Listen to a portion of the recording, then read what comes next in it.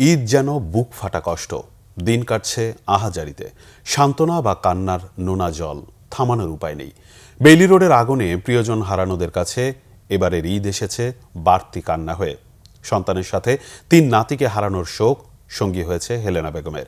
বিস্তারিত ফররুক বাবু রিপোর্টে, ক্যামেরায় জহুরুল হক, জনি। দিয়ে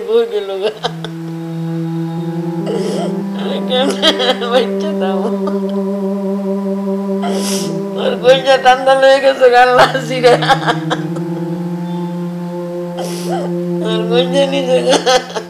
শুনতে পাচ্ছ কেউ কাঁদছে। বুঝতে পারছ এ আহাজারি কার?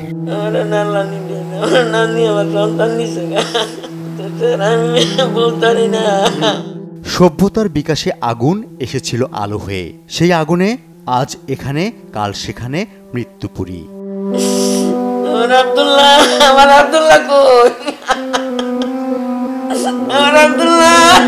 বাবাটার নাম ছিল মায়ের মুখের হাসি আর ফুটবে না পরিবার ফিরে পাবে না শূন্যতার সীমানা যে অবহেলায় ভয়াবহ অগ্নিকাণ্ড সেই পাষণ্ডরা এখন নানা কাজে ব্যস্ত ছেলেহারা মায়ের অশ্রু গড়ায় তবুও অনিয়ম বেড়ে চলে প্রতিকারহীনতায়।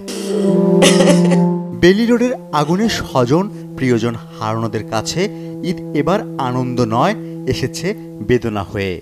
গত উনত্রিশ ফেব্রুয়ারির আগুন কেড়ে নিয়েছে ছেচল্লিশ প্রাণ। তাদেরই একজন ইতালি প্রবাসী সৈয়দ মোবারক। তিন বছর পর দেশে এসেছিলেন স্ত্রী দুই মেয়ে ও ছেলেকে উন্নত জীবনের জন্য প্রবাসে নিয়ে যেতে।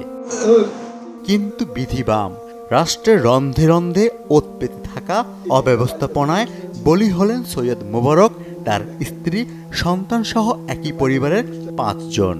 বিদেশে যাবার আগে দেশি খাবারের স্বাদ নিতে গিয়ে সবাইকে নিয়ে চলে গেলেন না ফেরার দেশে।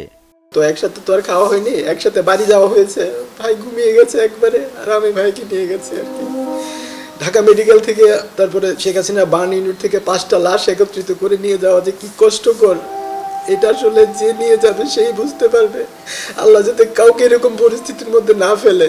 আমার আমার মেমোরিতে এখন আমি চোখ বন্ধ করলে ওই লাশগুলো আমার চোখের সামনে ভেসে ওঠে।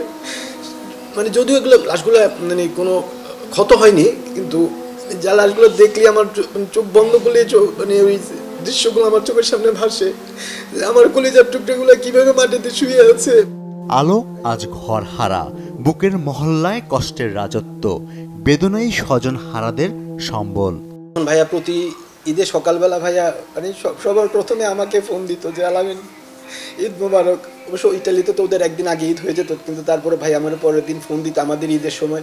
নামাজে যাওয়ার আগে ভাই আমাকে ফোন দিত যে, ভাইয়া, শুধু করে নামাজে যাইস, আর কি আয়সা আম্মারে একটু দেখিস। আম্মার প্রতি ওনার ছিল অগাধ ভালোবাসা।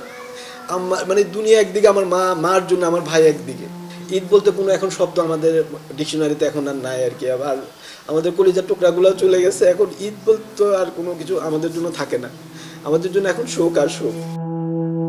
বেইলি রোডের মতো মৃত্যুকূপের হোতা আগুন কারবারিদের, উচিত শাস্তির অপেক্ষাও তাদের। ফররুক বাবু, বাংলা ভীষণ ঢাকা।